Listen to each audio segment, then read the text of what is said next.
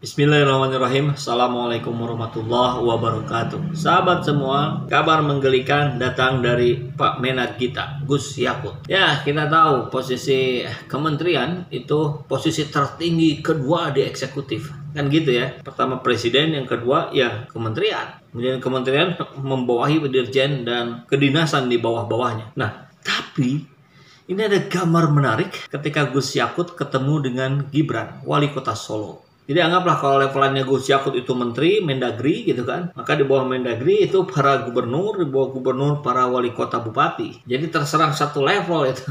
Tapi bahasa tubuhnya menunjukkan seperti yang sungkem ke Gibran Raka Buming Raka. Ya, memang angle pengambilan foto bisa membawa makna yang berbeda dari yang sebenarnya ya.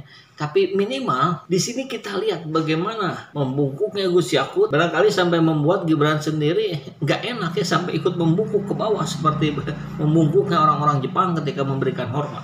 Sebetulnya kan bagus-bagus saja. Ini kan masalahnya budaya di kita nggak begitu gitu. Atau barangkali Gus Yakut mau merubah paradigma kita hari ini ya. Jadi yang di atas sungkem ke yang di bawah atau kemudian netizen bertanya, oh apakah hari ini Kementerian Agama jadi di bawah wali kota? Kan nggak mungkin. Yang lucu lagi komentar bahwa ya kan bapaknya beliau presiden. Kalau para menteri itu adalah pembantu presiden, maka anaknya presiden pun ya majikan saya. Ada yang kurang lebih berkomentar seperti itu, kemudian dibawa menjadi logika yang masuk akal ya intinya sopan sekali ini Gus Yakut ya.